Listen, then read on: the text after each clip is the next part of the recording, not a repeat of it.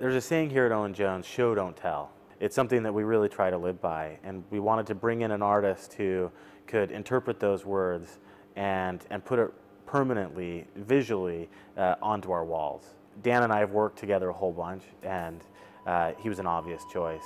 Show don't tell I think is just the, the act of, of doing and, and making it happen and being there rather than over explaining something, you know.